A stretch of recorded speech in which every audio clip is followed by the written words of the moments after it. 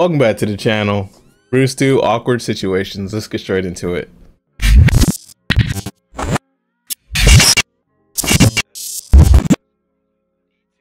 Now, throughout my life, I've experienced plenty of awkward situations. I don't know if I'm like some sort of awkwardness magnet or what, but they tend to happen quite often. And today I'd like to go over three specific awkward situations that uh, were a little bit more awkward than usual, if you will. Now, this first story occurred a long time ago when I was driving home from work one day. I pull up in front of my house, and that's when I notice that there's a neighbor kid in my yard poking a dead squirrel with a wiffle ball bat.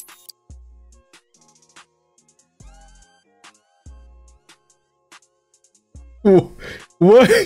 Alright, that's awkward as fuck. Now, I really didn't think this was all that weird at first. Hell, if anything, I was kind of excited for the kid. I was like, oh, look at that. A kid playing with a dead animal, just like the olden times when I was a child. How neat. So I get out of my car and I yell out to this kid nonchalantly, Hey, what you doing over there? Are you making a new friend? Now, this kid looks up at me and all of a sudden just starts wailing his ass off.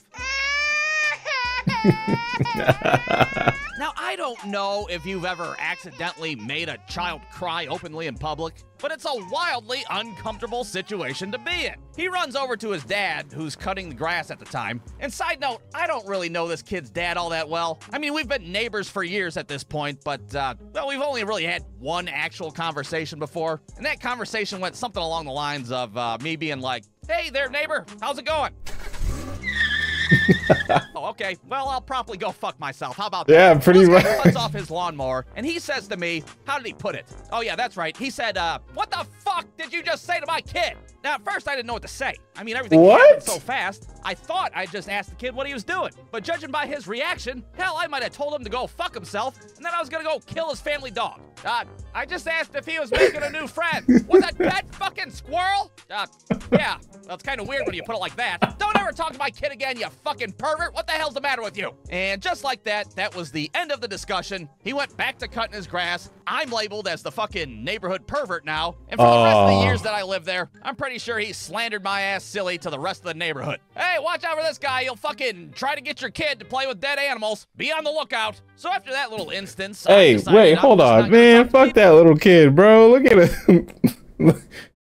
Fuck that little kid, man. So after that little instance, I decided I'm just not going to talk to people anymore. To hell with casual conversation. Because one minute you're asking a kid a question, and the next minute you're on a goddamn registry of some sort. It's stupid. But even when I do manage to keep my mouth shut, I still find myself in plenty of awkward situations. Like for example, not too long ago I was at Kroger's buying beer. And Kroger's, for those of you that don't know, is a grocery store in the Midwest. You might have like an Albertsons where you live, or like a Winn Dixie, or whatever the fuck What?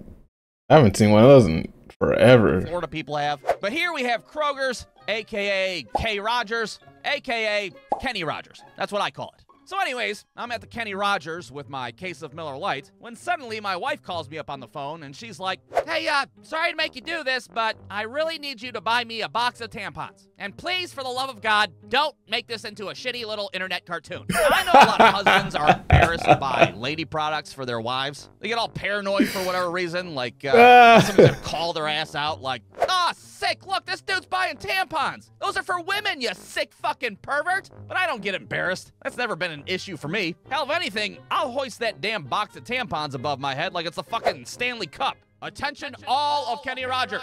I am a man buying tampons for my bleeding wife.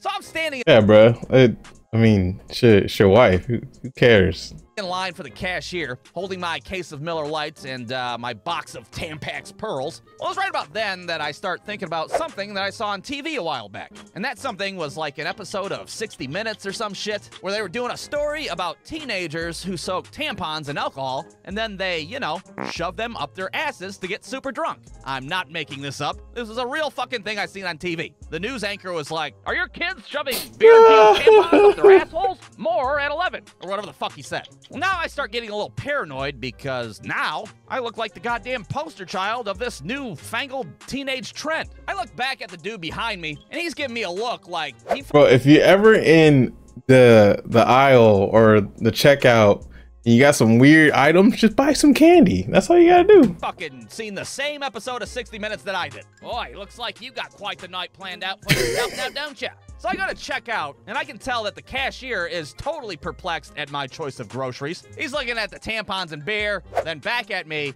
and then back at the tampons and beer, and he's trying to figure out what the fuck the correlation is between these two products. Well, now I feel like I have to speak up and try to defend myself to some degree. Uh, look, it's really not what it looks like, okay? Uh, what's not what it looks like? The beer and the tampons. I'm not like doing anything weird with them. Uh, why would I think that in the first place? Oh, you know, because uh, apparently teenagers soak these things in alcohol and then they shove them up their assholes. Have you guys seen that video of the girl that soaked her tamp? You know what? That is not. Never mind. What the fuck are you talking about? you know what? Never mind. Forget everything I said. I have to leave now. And then I promptly ran out of that Kenny Rogers like the building was on fire, and I haven't been back there since. Crikey, that pervert's totally jamming them things up his bumhole. All right, so now all of a sudden I'm the neighborhood pervert, and I'm the guy who shoves tampons up my ass. That's quite the reputation I'm building for myself. What can I say? Now, thankfully, this last story has less to do with me and more to do with a couple of friends of ours. Now, these aren't exactly close friends, I would say. At least not close enough for me to not tell this story to the general public. but I will change their names in this shitty cartoon to uh, protect their privacy, if you will. So this story begins with me and my wife going on a canoe trip with our friends Jimothy and Stenifer. and this wasn't a very crazy canoe trip that we took. It was only like four hours or so. You shoot your ass down a river and try not to drown. Then they pick you up in a van and take you back to the parking lot. Nothing awkward about that, What? right? Well, after the trip's over, we're standing there waiting for the shuttle to pick us up, and good old Jimothy over here starts talking about this vacation that they took in Wisconsin. Dude, Wisconsin is badass. There's fucking cheese, and there's cows, and there's more cheese. Now, I did not give a fuck about this story to begin with because, uh, well, who the hell takes a vacation to Wisconsin in the first place? But I try Yeah, to be weird. polite. I stand there and listen to a story. Oh, well, that's pretty neat. Wisconsin, huh? Never heard of the place. Well, Jimothy decides to pull out his phone to show me this Airbnb that they stayed at, and this is where things get a little weird. now, you have to understand that all this happened in a matter of seconds. We're gonna have to slow things down and do a Ah, little play by it's gonna be so. First, Jimothy pulls out his phone. He then pulls up his web browser. On his web browser was a Google search that I'm assuming Jimothy Googled prior to this canoe trip. And that Google search, of course, was pegging for beginners.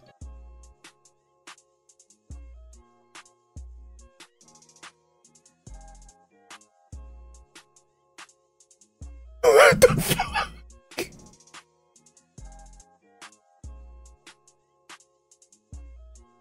What the fuck? Now, if you're not familiar with what pegging is, well, my ass is not going to tell you. That's a version of the birds and bees I'm not trying to fucking have with the general public, all right? Just know that it's a very intimate activity between Jimothy and Jennifer, Stenifer, and I'm sure neither of their asses wanted me to know about it. Well, in the fraction of the second that this all took place, Jimothy's ass abruptly turns off his phone, and he's like, You guys want to talk about something else? Fuck Wisconsin. Canoeing is fun, wasn't it? I love canoeing so much. Now, I don't know how you're supposed to handle a situation such as this, but I just pretended that I didn't see what I saw, even though I totally saw what I see. All I can say is that van ride back was extremely awkward, and casual conversation was very difficult. Uh, boy, those rapids that we encountered sure were a pain in the ass, weren't they? Uh, you fucking know, wouldn't you? huh? Nothing, nothing. Uh, yeah, at least it was nice and calm on that last peg of the river. Leg of the river. So yeah, there you have it. There's three awkward situations that uh, I really wish I Beggars can't be of. choosing. Three stories had to do with things being inserted into asses, but uh, that's the way it goes. Like Meatloaf said, two out of three ass stories ain't bad.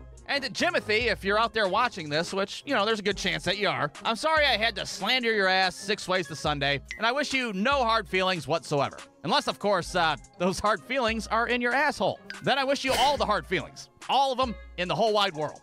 The end.